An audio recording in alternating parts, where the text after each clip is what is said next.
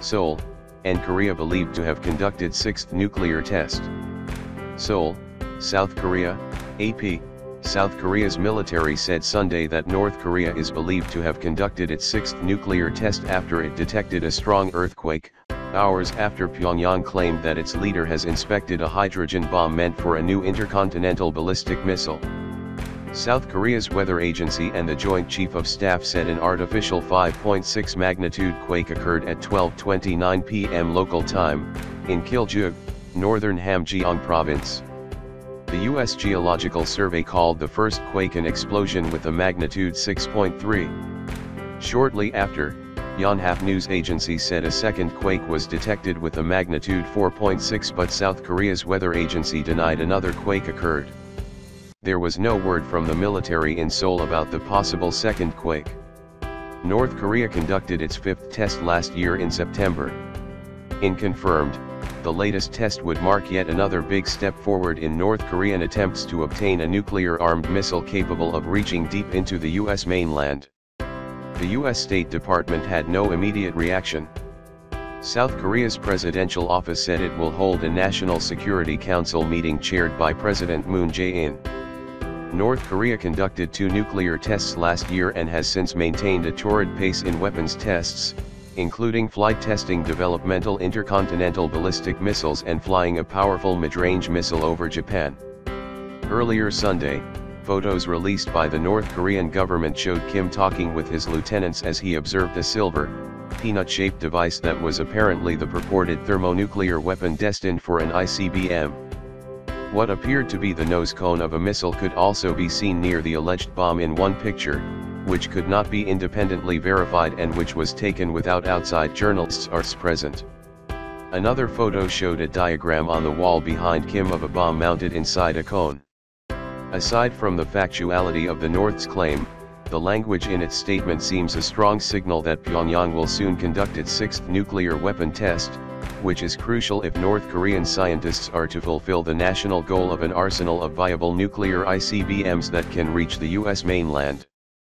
There's speculation that such a test could come on or around the September 9 anniversary of North Korea's national founding, something it did last year.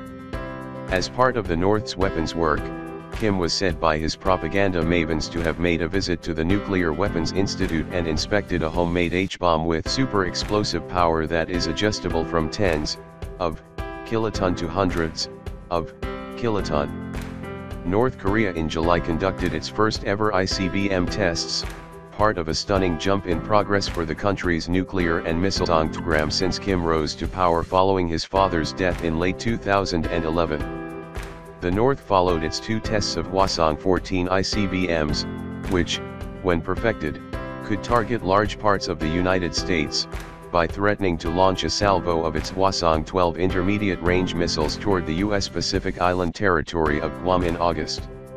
It flew a Hwasong-12 over northern Japan last week, the first such overflight by a missile capable of carrying nukes, in a launch Kim described as a meaningful prelude to containing Guam, the home of major U.S. military facilities, and more ballistic missile tests targeting the Pacific. Vipin Narang, an MIT professor specializing in nuclear strategy, said it's important to note that North Korea was only showing a mock-up of a two-stage thermonuclear device, or H-bomb. We won't know what they have until they test it, and even then there may be a great deal of uncertainty depending on the yield and seismic signature and any isotopes we can detect after a test, he said. To back up its claims to nuclear mastery, such tests are vital. The first of its two atomic tests last year involved what Pyongyang claimed was a sophisticated hydrogen bomb, the second it said was its most powerful atomic detonation ever. It is almost impossible to independently confirm North Korean statements about its highly secret weapons program. South Korean government officials said the estimated explosive yield of last year's first test was much smaller than what even a failed hydrogen bomb detonation would produce. There was speculation that North Korea might have detonated a boosted fission bomb, a weapon considered halfway between an atomic bomb and an H-bomb. It is clear, however, that each new missile and nuclear test gives the North invaluable information that allows big jumps in capability. A key question is how far North Korea has gotten in efforts to consistently shrink down nuclear warheads so they can fit on long-range missiles. Though we cannot verify the claim, North Korea, wants us to believe that it can launch a thermonuclear strike now, if it is attacked. Importantly, North Korea, will also want to test this warhead, probably at a larger yield, to demonstrate this capability, said Adam Mount, a senior fellow at the Center for American Progress. North Korea is thought to have a growing arsenal of nuclear bombs and has spent decades trying to perfect a multistage, long-range missile to eventually carry smaller versions of those bombs. South Korea's main spy agency has previously asserted that it does not think Pyongyang currently has the ability to develop miniaturized nuclear weapons that can be mounted on long-range ballistic missiles. Some experts, however, think the North may have mastered this technology. The White House said that President Donald Trump spoke with Prime Minister Shinzo Abe of Japan regarding ongoing efforts to maximize pressure on North Korea.